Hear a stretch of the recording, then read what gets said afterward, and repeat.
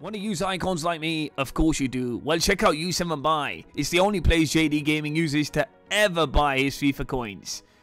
It's fast, cheap, and reliable. Make sure you use JD for 6% off. Link in the description.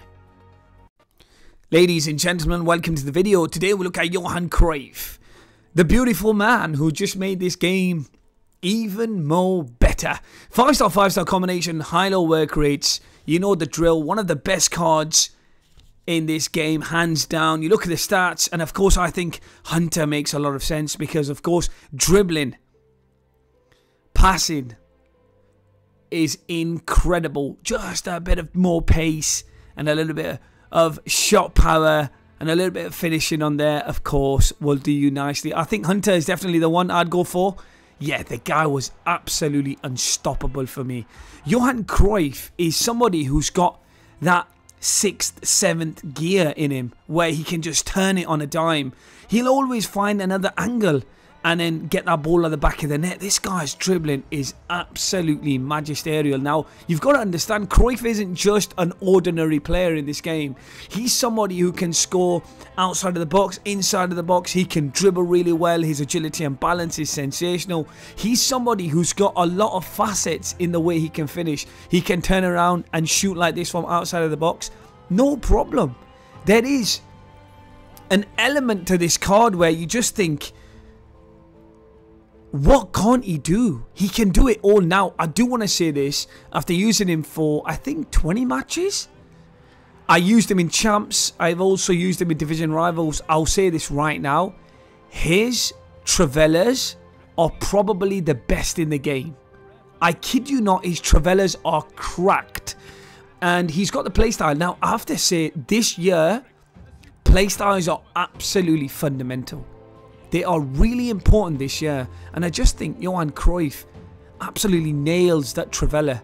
His dribbling unmatched, agility unmatched, pace is incredible. This guy's got that pace that he can get away. I used him in the 4-2-3-1 and he was so good as a solo striker. Really, really good card. I love this card to bits. I, I really do think he's so well priced as well. If you look at R9, is so expensive. I mean, three and a half million coins is not that many coins. There's only one Cruyff in the game. I think he's really well priced. This card is just phenomenal. Attack positioning, brilliant. Passing short and long, fantastic. I'd say his strength was really good as well. There was, there was, I was playing with him, and I just remember being hassled by Kyle Walker here. And he held off Kyle Walker not once, not twice, three, four times. He got away from Kyle Walker. He was like, get away from me. I was like, wow, Cruyff. Wow. I'm not saying by any stretch of the imagine of my imagination that Johan Cruyff is really strong. No. But he wasn't weak. So it's not, in my opinion, a fault of Cruyff. It's not a, it's not a weakness. He doesn't have any weaknesses. Pace insane, shooting insane, passing, dribbling unbelievable. I would say maybe second half towards the end his stamina was drained. He's only got 80 stamina. But I think this card will get you out of there before his stamina goes. I think this card is flawless. I really do.